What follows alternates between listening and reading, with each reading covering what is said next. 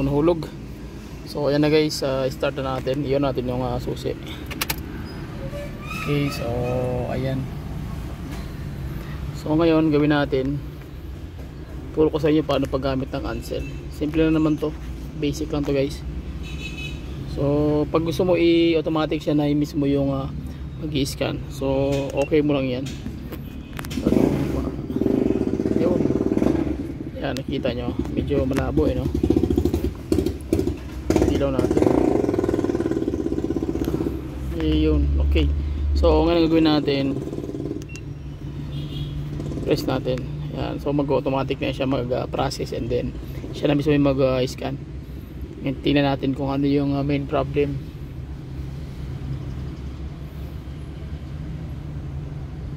Yun. So ang problema is okay na ibig sabihin uh, na reading niya to guys. Ibig sabihin uh, wala pa siyang uh, dumaan ng uh, ano uh, putol o ibang kinokondem. Kasi marami kasi mga unit hindi na kayang i-reading dahil uh, may mga hindi na may scan kasi nga uh, may problema na yung uh, loob. Pinagpuputol na di na kaya hindi ma-reading. Pag ganito ibig sabihin uh, wala pang ano hindi pa nagalaw yung uh, ano nito linya ng mga ECM so back tayo guys. Okay na tayo. And then mag read codes tayo. Ayan o so okay ngayon ano bang unit ito? Honda di ba? So hanapin natin yung Honda. Yun. Okay. And then automatic current the fault code is not found in the database. Okay. So ayaw mo. Read codes. Okay. So gawin natin ayaw niya mag, mag uh, reading okay okay lang okay lang kami. Okay. So dito tayo sa mano-mano ayaw niya mag automatic so mano-mano tayo. Daiwo Honda. Silaw eh no? Sabi nga ano silaw ayun. So ngayon okay tayo dyan V10.44 Honda.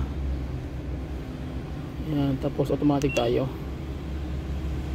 Okay.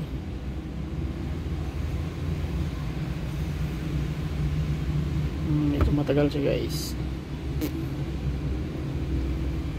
So mag-ayos kan ganito. Kailangan na alam nyo yung uh, unit na titirahin nyo. Kasi minsan uh, hindi yan nag hindi nagre-reading.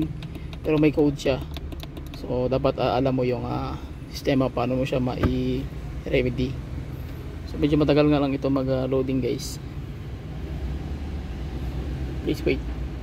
Antay natin. Yun na. So try natin yung ano, uh, engine system nya PGM FI diesel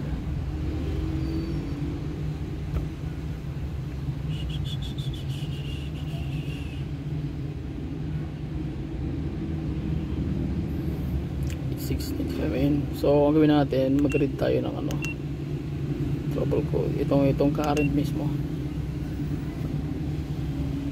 Yun automatic system malfunction automatic system. Ibig sabihin na may problema talaga guys. 7002 7002